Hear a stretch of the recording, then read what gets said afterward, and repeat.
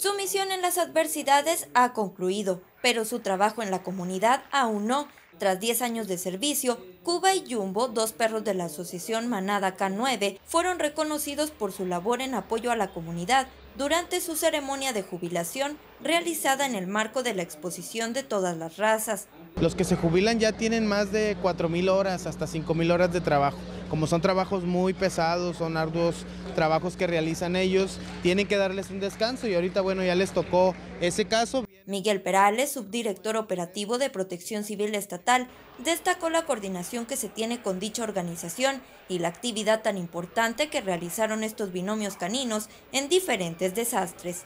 Trabajaron en el sismo del 2017 en la Ciudad de México, también en el eh, derrumbe de Antigua, recordemos en el municipio de Monterrey, en el derrumbe más reciente en la colonia Cumbres, que han localizado a muchas personas que desafortunadamente han sufrido alguna desgracia.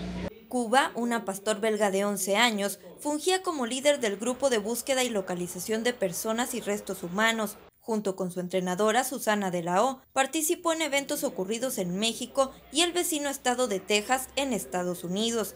Su lugar lo tomó Joe, un labrador de un año tres meses, perteneciente a Protección Civil Nuevo León, quien recibió el peto como nuevo líder. Este perro, quiero comentar, fue donado por esta asociación Manada K9 para que sirva a la comunidad de Nuevo León. Y bueno, y es el binomio canino que está de primera respuesta para cualquier emergencia o desastre que hay en el estado.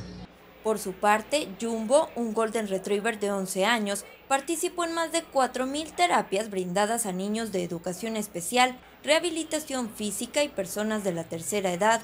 Ahora, esa estafeta la tiene Panchito, un pequeño Shih Tzu.